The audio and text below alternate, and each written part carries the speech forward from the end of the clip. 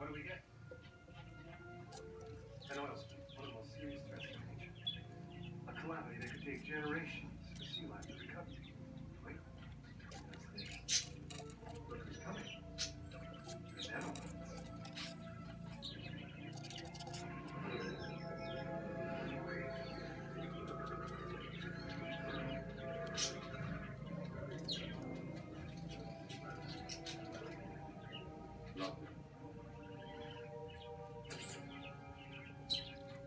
Baby seals everywhere